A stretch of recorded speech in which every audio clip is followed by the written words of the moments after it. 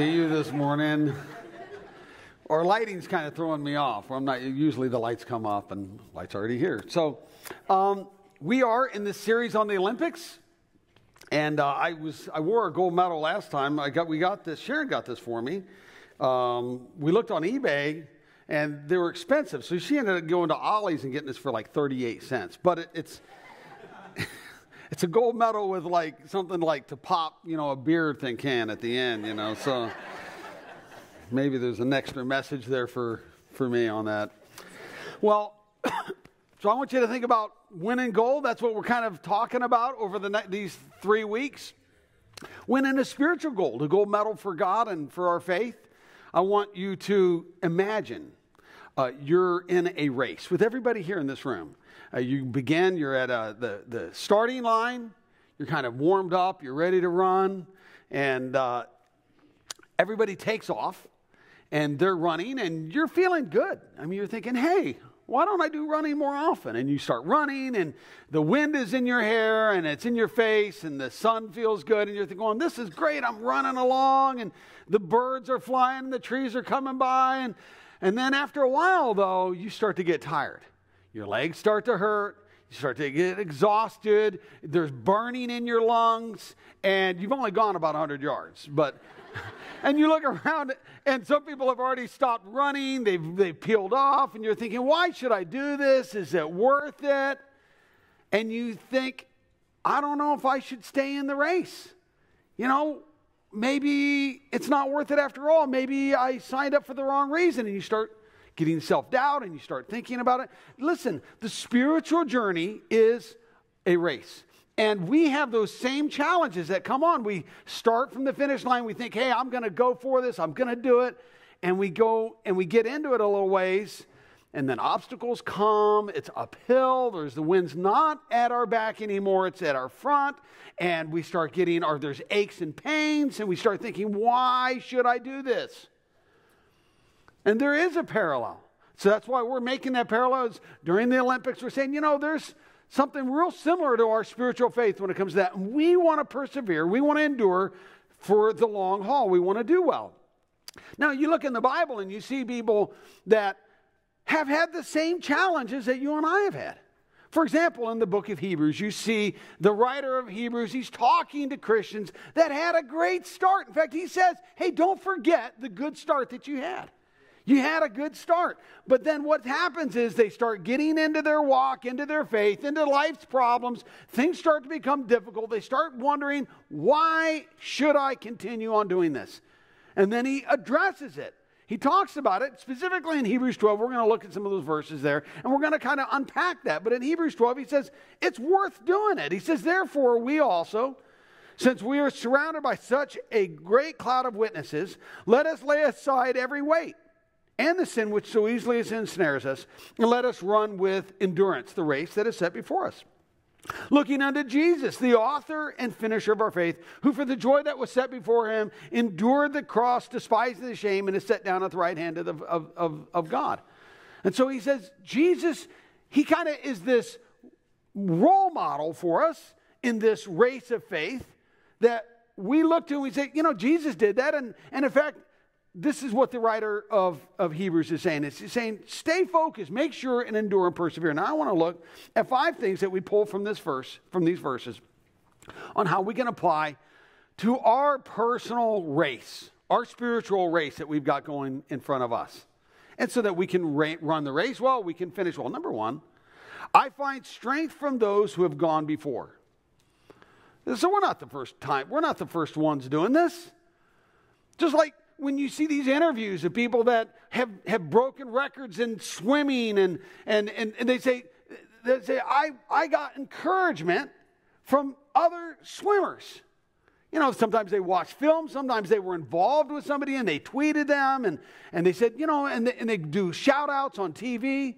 Go, I got encouraged from them. And, and he points uh, here in Hebrews, he points to people that have gone before us. He says, um, uh, he says that the Bible is, is a book of encouragement for. It's not just a history book. Uh, you know, just read it like a history. I mean, certainly it has history in it, but there's lessons learned when we read and we learn the, the, the stories of other people that have, have gone through difficulties. we find that it's not just moral teachings, not just historical stuff, but it's for my own spiritual growth.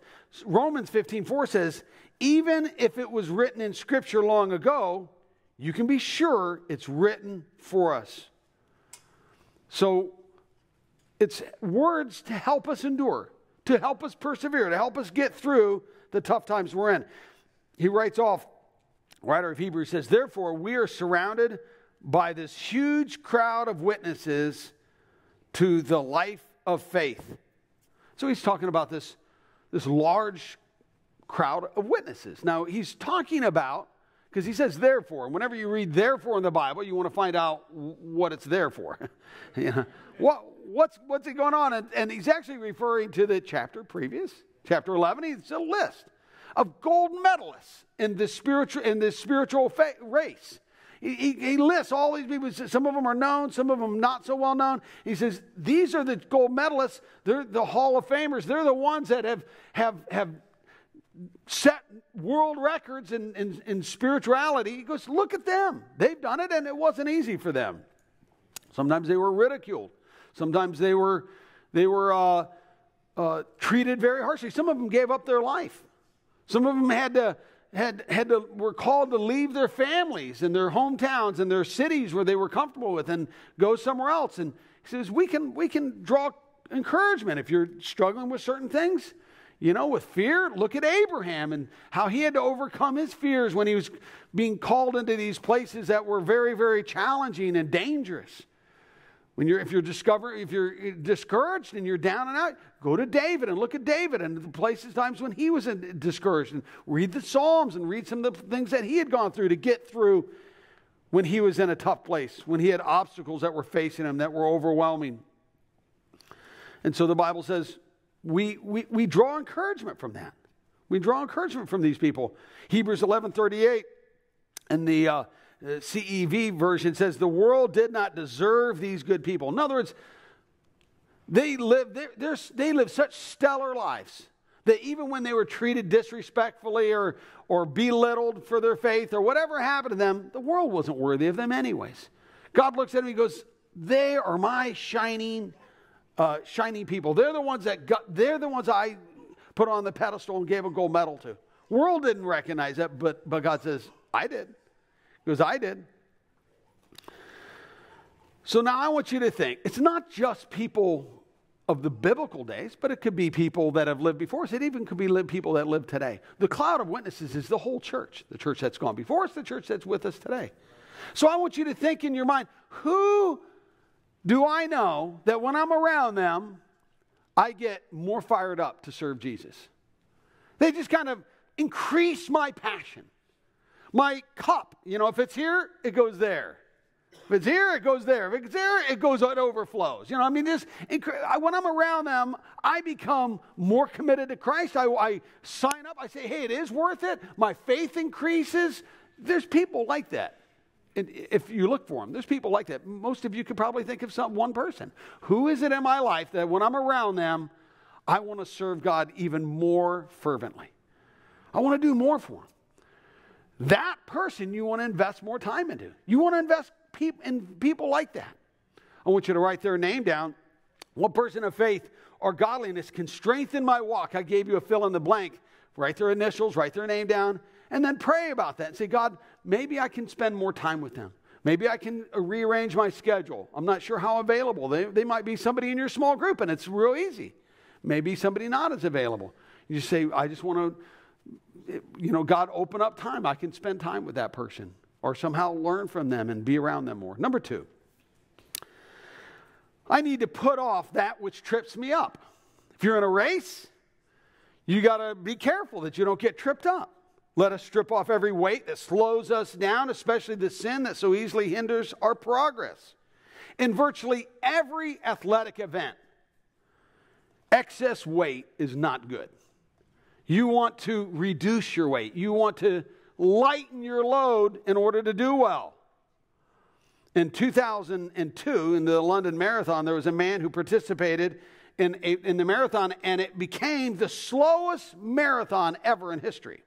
Lloyd Scott finished in five days, eight hours, 29 minutes and 46 seconds. There's a slide of him. It's because he was dressed like that. You think that'd slow you down? Look at those boots, full metal helmet. He's clawing through, you know, once. I mean, that's going to slow you down. But he was doing it for a fundraiser. But that is typical of people in, in, in some of their spiritual lives. They're weighted down like that. And then they're wondering why it's so hard. It's so hard to be a Christ follower. Well, yeah, weighted down like that. And they don't realize that I need to maybe, maybe I need to shed some things off. Sometimes we're always thinking, what am I supposed to do? You know, another important question is, what am I supposed to not do? What am I supposed to give up? What am I supposed to let go of?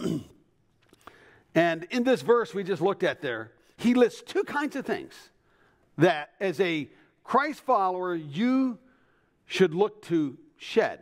You want to let go of this, these slowing you down. Number one is to let go of the ungodly. Let go of the things that are sin in your life. You see, when I read the Bible, it reveals things.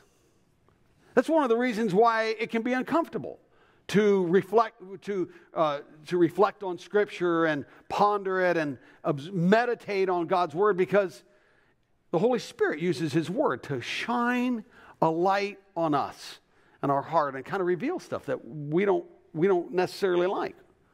We don't, it, it, it, hurt, it damages my self esteem. I already, I'm already on the edge, man. Don't you know, God? I can't take anymore. But God knows that if he, if, if he reveals that stuff, kind of like a surgeon, you know, he says, that's not good for you. And so, you know, let's get that out of there, and your true self esteem will rise to the, you'll actually be more confident. You'll, be, you'll have more joy. You'll enjoy your, your spiritual walk even more. You'll have better, more fulfilling, more authentic relationships. See, God's saying, I want to help get rid of that stuff. Gets in the way. And so we got to be willing to let the Holy Spirit talk to us through that, through His Word. When you come to weekend services, sometimes, sometimes we talk about some stuff and you know, you're trying to not squirm too much because the Holy Spirit is, you know, and then we immediately think, well, I hope somebody else is listening because I'm feeling uncomfortable and I don't want too much attention on me. Right now, just if, if you were to be honest, right now, for probably everybody here in this room, the Holy Spirit would single and say, you know, there's something I want to deal with in your life. There's something, and it might be different for each one of us, but there's something I want to deal with, something that's weighting you down that it has no business being in your life. And so the question is are you willing to let the Holy Spirit take that out of your life? You know, maybe it's some addiction, maybe it's some uh, deceitful business practice you're involved in. Maybe your heart, your heart is not tender towards the, uh, the downtrodden, towards the needy. Maybe it's uh, something you're, you know, thinking of doing upcoming. Maybe you're, maybe you're playing around with some, some relationship that's flirtatious that you're saying, well, I haven't done anything yet, but the Holy Spirit's not, God's not trying to keep the good life from you. He's just saying that's going to mess you up. That's gonna that's gonna weigh you down. Then you also let go of the unnecessary. Sometimes this can be more subtle because it's not it's not like blatantly a moral compromise, but it's just not good for you. You know, you're just so busy, you don't have time to slow down and think about God and and, and, and get involved in His Word or be involved in a small group, or you're just so involved with your kids with so many extracurricular activities. You don't have time to give them instruction and point them towards Christ. Maybe you're, you're very caught up in other spiritual activities like watching, you know, the Game of Thrones or House of Cards, and you're just thinking, well, this, this is where I get my spiritual nourishment. There's, sometimes it's just distractions like that. We just lots of entertainment. We're very entertainment driven culture. There's nothing wrong with entertainment, but we're, a lot of people, that's, they fill all their nooks and crannies of their time with entertainment and distraction. A spiritual person who's serious about running a marathon, winning a gold medal for God, they don't let that happen. They, they allow some entertainment, but it's not, that's not their life. That's a portion. And, they're and, and if there's ever a decision, they, they realize, no, I, I'm going to make sure and spend some time with God each day. Notice in 2 Timothy 2 3 says, Endure hardship with us like a good soldier of Christ Jesus. No one serving a soldier gets involved in civilian affairs. He wants to please his commanding officer. He says, get rid of the unnecessary. If you're a, caught up in civilian affairs and keeping you from doing what God wants you to do, he, your commanding officer, you need to let that go. So fill in this statement. In order to finish well, in order to finish well, I need to let go of what? What do you need to let go of? And fill something in the blank. Now, somebody come up, came up to me last night and said, I put my wife in there. Uh, that's not what I'm talking about. I understand that sometimes the spouse, you feel like that's the person. If I just let them go, I can really be, I can love Jesus all, all the more. No. Okay, you don't, I'm talking about within God's will, you know, what's something that keeping you from, from really serving God? Number three, I will have to choose to persevere until I cross the finish line. That's a choice that we make. Now, in Hebrews 12 1, the, uh, the second part of that says, Let us run with endurance this race that God has set before us. Now, down through the ages, even to our present time, greatness is determined by somebody who's willing to persevere through challenges, through obstacles that come their way. You know that there was a memo that came from MGM shortly after Fred Astaire took his first screen test? And in the memo, it said about him can't act, slightly bald, can dance a little. It's Fred Astaire. And then somebody said of Vince Lombardi that he possesses minimal football knowledge when they were looking for recruiting. Uh, the parents of Enrico Caruso believed their teacher when he said he had no voice at all. He just cannot sing. Walt Disney was fired by a newspaper uh, that he worked for because he lacked ideas, they said. Thomas Edison's teachers gave up on him and gave him an evaluation quote, he is too stupid to accomplish anything. It's Thomas Edison. Henry Ford, before he succeeded, he went, uh, he went broke five times. He failed. Beethoven handled the violin awkwardly, and his teachers called him hopeless as a composer. Albert Einstein performed so badly in high school, other than mathematics, that his teachers encouraged his parents to pull him out of school. Now, there's plenty of people that are notable, and maybe some people that you know that have overcome some big obstacles. If you've watched the Olympics, they do these cutaways, these stories behind the scenes. Look at what this person had to do in order to, over, to overcome to get to the place where they're at the Olympics, much less win. And you just hear these stories, and there's, there's things that we have to do to say, you know what, I'm going to have to dig deep in order to overcome the situation I'm in. Now, our culture kind of says, do the easy thing. Do whatever's convenient, whatever's quick, whatever's fast, whatever's in, instant. But very little good things happen when we're trying to look for the easy, convenient thing. Eugene Peterson wrote this. He said, quote, there is a great market for religious experience in our world. But there is very little enthusiasm for patient acquisition of character and virtue. Character and virtue, that comes through the long haul. That's not something quick. On the back of your outline, there you see 1 Corinthians 15 58. It says, Therefore, my dear brothers, stand firm. Let nothing move you. Always give yourselves fully to the work of the Lord because you know that your labor in the Lord is not in vain. Another translation says, Be steadfast, be immovable, no matter what the hardship. In other words, no matter how long the storm lasts, no matter how dark the night gets, no matter how scary things get or how bad the waves batter you, you are going to persevere. Now, Paul, this was his motivation. The Apostle Paul went through a lot of challenges in his path of following God, his spiritual pathway. In fact, he writes a few of those down. He goes, Hey, you know what? As you're thinking about your challenges, he goes, Here's a couple of my challenges. Here's what he says He says, I have worked much harder, been in prison more frequently, been flogged severely. Being flogged is being tied to a post. They rip your shirt off, they tie you to a post publicly, then they beat you. They, they, they whip you and terrible, terrible lacerations.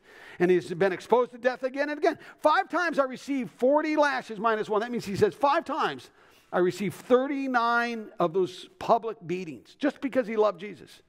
Three times I was beaten with rods. Once I was stoned. Three times I was shipwrecked. I spent a night and a day in the open sea. I've been in constant danger. I've labored and toiled. I've often gone without sleep. I've known hunger and thirst. I've often gone without food. I've even been cold and gone without clothing. Besides everything else, I face the daily pressures of my concern for all the churches. And he goes, Hey, I get it. It can be tough. He goes, But I made a decision long ago I was going to follow Christ. So when I went through those temptations, that's not the time, and those trials, that's not the time to think through, oh, well, you know, let me evaluate my commitment to Christ. No, you make the commitment before you begin the race. And th- then when you're in those difficult times that uh, inevitably come, when you feel distant from God, you can't seem to hear his voice, or something happens in life and you go, why would that happen? If God's all powerful, if He's all loving, why would He let that happen to me? And we go through those whys and the, all the, the upheavals of that life comes. See, we make that commitment before that. So when we're in those situations, we persevere. That's the key to persevering and endurance is making the commitment way, way before we're in that circumstance that does not make sense to us. I know God wants me to keep on what? I want you to fill something, put something in there. What do you need to keep on doing? Wherever you're at, maybe you're in some challenge in life. I know God wants me to keep on, and that's a blank, fill in the blank. Personalize for you to think, this is what I need to do. Where I'm at right now today, God wants me to keep on this. And you just write that in. Keep pressing on. Number four, I'm going to keep a single minded focus. Single minded focus. And um, that means just keeping our eyes on Jesus. Hebrews 12 says, We do this by keeping our eyes on Jesus, on whom our faith depends from start to finish. So he says, focus. Focus is important. How do you focus on Jesus? Well, focus is an act of concentration. What I'm going to what I'm going to look at, I get to choose what my eyes focus on. And then focusing on the right thing. Now listen. It does not say you're supposed to focus your eyes on your small group or on your small group leader or your host. It doesn't say you're supposed to focus your eyes on your pastor or on the pastoral staff or on Vineyard Community Church. You're supposed to focus your eyes on Jesus. Amen. That's what we're about. Listen, Vineyard Community Church has failed you if we do not teach you to focus your eyes on Jesus. That's what we want. That's what we're about here. It's about, we're after following Jesus, not about people, because people will fail you at, at some point. They'll disappoint you, they'll drop the ball, they'll hurt you, all those things. That's just true because we're part of fallen humanity. So we focus our eyes on Jesus. He's the one who's going to get you through this. He's going if you're going to get a gold, it's going to be because you had the wherewithal the ability to concentrate and focus your eyes on Jesus day in, day out. When things get tough at work, when you get the medical diagnosis that's not what you wanted, when you don't get the job or when you are tempted at work to do something wrong and all those things, all focus your eyes on Jesus. Focus your eyes on Jesus. That's how we get through that stuff. Now, you go, well, how do I do that? You know, I mean, focus your eyes on Jesus. You know, how do I focus on God? It's, maybe it's easier said than done, right? You know, just, and I don't want it to just be a, a trite cliche for you. Just focus your eyes on Jesus. You know, well, okay.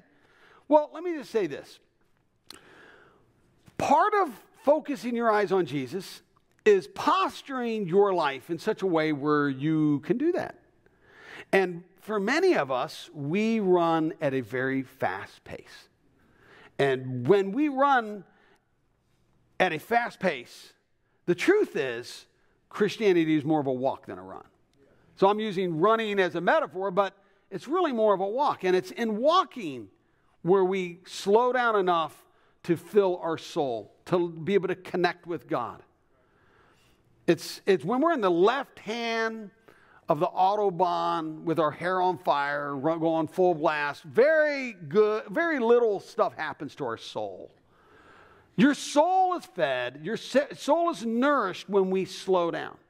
God speaks to us in the margins of life when we allow places where God, you know, of silence, places where God can speak, where it's not all filled up with everything. Many of us are very, very busy. And so we get up and we say, God, you're going to have to keep up with me because I am busy today. And I need you though. So, but keep up, I, you know.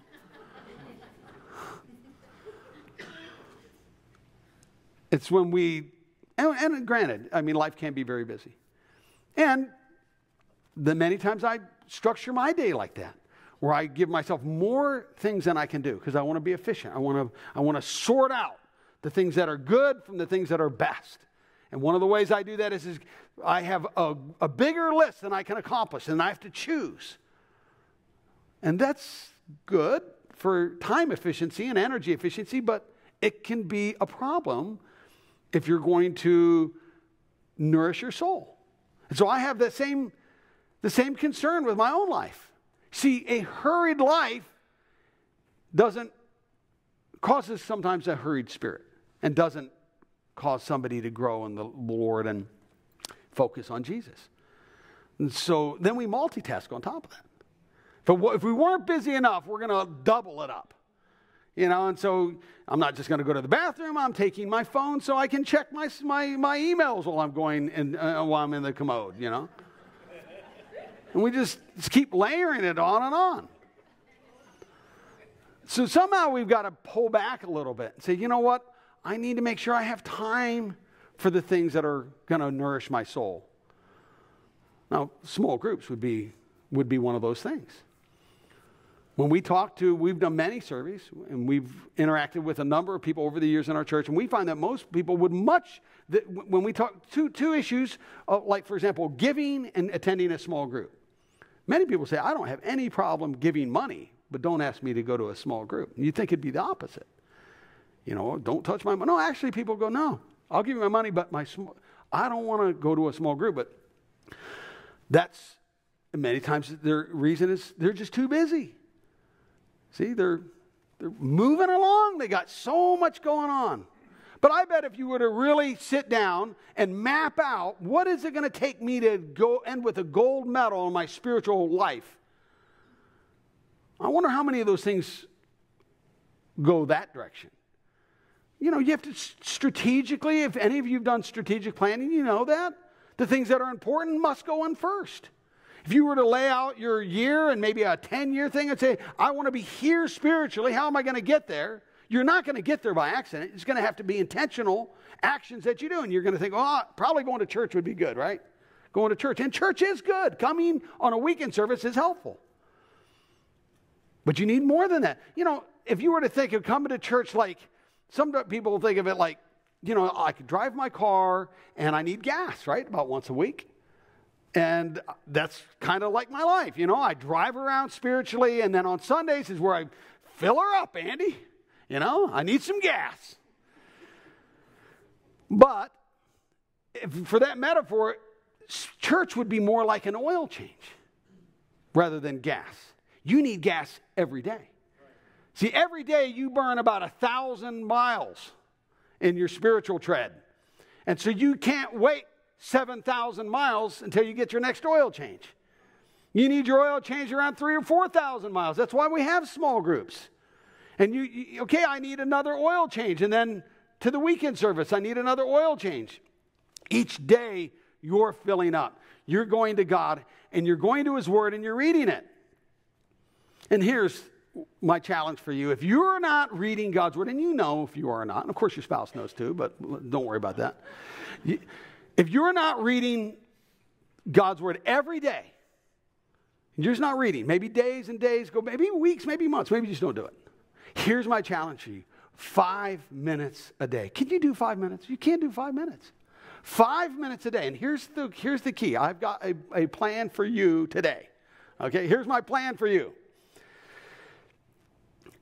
Studies show overwhelming amount of people most people, the first thing they do is they pull out their smartphone and they check their social media. They go onto Instagram, they check Facebook, or they check their emails. Here's my challenge to you Before you do that, you read God's word for five minutes. Before you do now that, and that's just not that it's a hard and fast rule. It's just your kind of your your way of making sure that gets in. Because certainly, if you can read your social media for five minutes, you can spend time reading God's word for five minutes. So just just five minutes before you open an app. You're going. You're getting. You're getting personal now, man. I don't know if I like this. If you want to, if you want to, if you want to do well, you need to do what it takes. And so you just before you open an app, you check. You just read the Bible for five minutes and just say, God, speak to me through that. And you spend a little time with God, and you you pray and you and and maybe memorize a verse. You know, memorizing God's word is very helpful. And so you maybe put a verse on the refrigerator and you just say, okay, another, uh, here's another thing you can do. You can say, before I eat anything, I, out of that refrigerator, I have to be able to say that verse without looking at it. Some of you will get very thin. It'll be a great, great way to lose weight. what a diet plan, right? and you just say, I'm going to do this, and you get serious about it, it's going to take that kind of runners go through a lot of preparation. They think through their strategy. They think, how am I going to do well if I'm going to get if I'm to if I'm to do well, if I'm to get a gold, if I'm to succeed. Philippians 3 says, "What is more, I consider everything a loss compared to the surpassing greatness of knowing Christ Jesus my Lord, for whose sake I have lost all things. I consider them rubbish that I may gain Christ. He says there is nothing more important than this. Nothing more important than your relationship with Christ and doing well. Don't get caught up in what the world does. You know, there's a lot of things that, that the world does. You don't want that as your role model. You want to you want to stay focused. When I was a, a, a high schooler, I had, some, I had a dirt bike and I used to race dirt bikes with my friends. And, and one of the things with dirt bikes is you can, you can go anywhere with those things. I mean, they get all muddy and crusted with mud and dirt everywhere. And they're all, they're just, you know, just caked with mud and dirt. But when it comes time to fuel it, carefully take the fuel cap off you give it pure fuel, maybe even if you need to, you sift it through a cloth to make sure it's pure because anything in there can cause the engine to not perform well. And life is like that. We get out in the world and we get muddy, we get filthy. There's nothing wrong with that. But if any sin is bouncing around inside of us, that can cause us to not perform well. And so we need to make sure and just surrender that to God. Say, God, you know, I'm going to let you get that stuff out of me because I want to perform well. I'm in the world, but I'm not going to be caught up in all what the world does. Number five, this lastly and, uh, and quickly, I will endure my present difficulties to see God smile. Hebrews 12 says, He who's talking about Jesus, he was willing to die a shameful death on the cross because of the joy he knew would be his afterwards. Jesus is the sterling example of somebody who kept the per- eternal perspective. You see, when you're in a tough place in your life, when you're, when you're, when you're just feeling low and you, you don't feel like you have people there to support you and you feel like you're, you've been just, you're way behind. There's nothing more discouraging than being in a race and you're towards the end. And you're wondering, I don't even know if it's worth it. I mean, I'm not getting a gold at this point. And maybe you just, you just feel like, is this worth it? And it, it's keeping the eternal perspective. You know, in other words, when you're running, you don't just look down all the time. You look up, say, hey, that's the goal line. That's the goal line.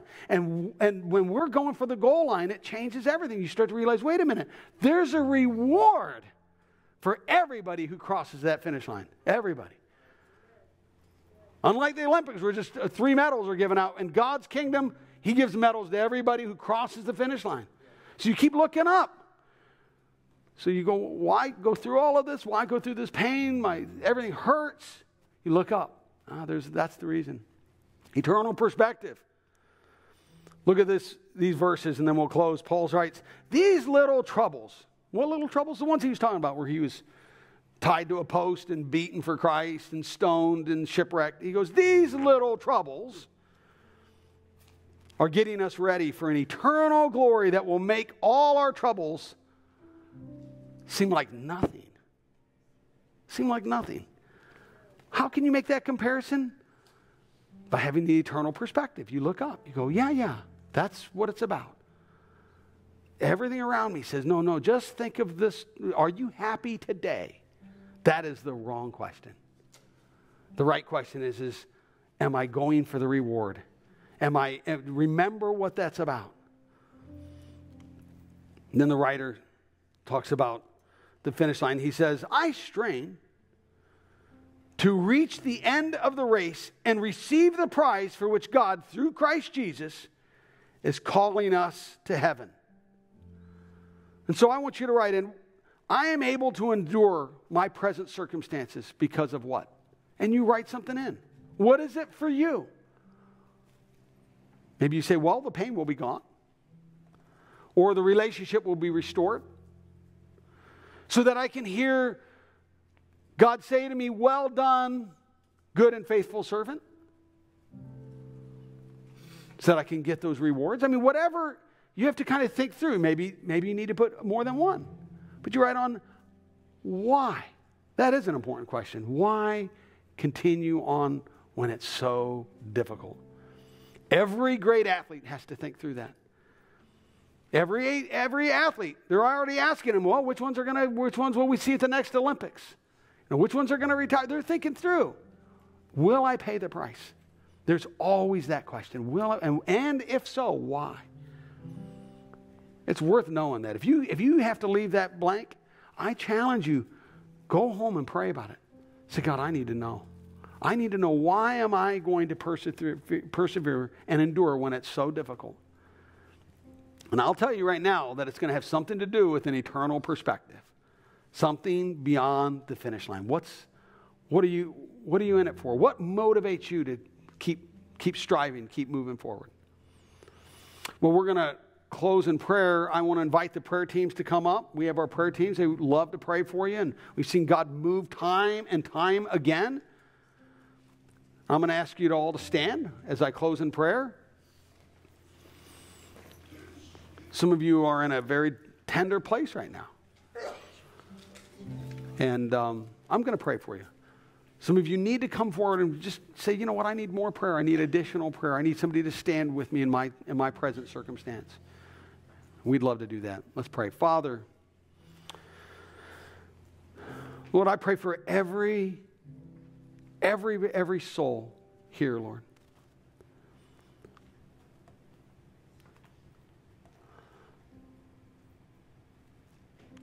The world would want to condition us and convince us to go one way. And your word, your Holy Spirit, is so counterculture. and so, God, I, I know that,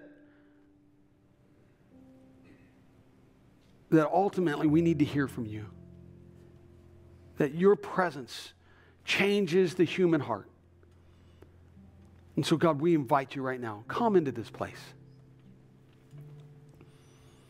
If you're out on the fringes, maybe you're out there feeling pretty distant right now. Before I pray for everyone, I don't want you to have to be there. I'm going to invite you in.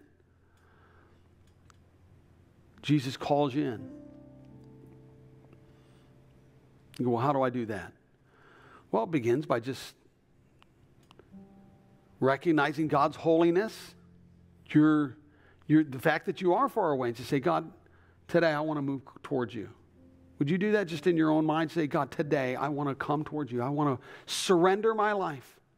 I want to be the person that moves forward on, on this spiritual pilgrimage that will end well for me. Can you declare your faith to Christ? Say, Jesus Christ, I put my faith in you.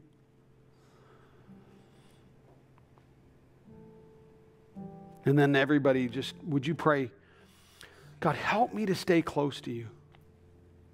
When the feelings fade, the emotions go, when I don't feel like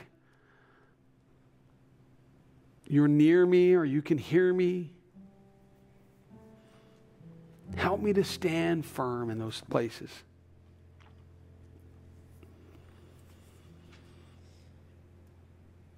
Some of you, you have something that's weighing you down.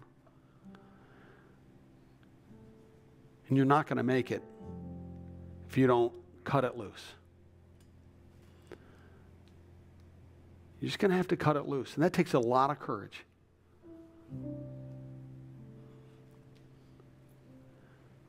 And when the Holy Spirit shines and puts his spotlight on that thing, you, he'll give you the power to, to, to, to step away from it. I know from my own personal life, time and time again.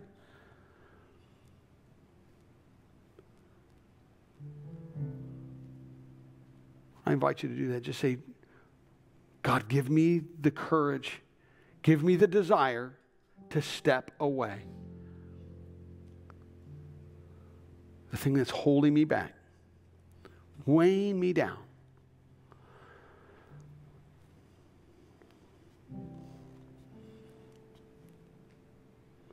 And Lord, from this day forward, help us to stay focused on our eternal perspective, to fix our eyes on Jesus, the author and finisher of our faith. In Jesus' name, amen.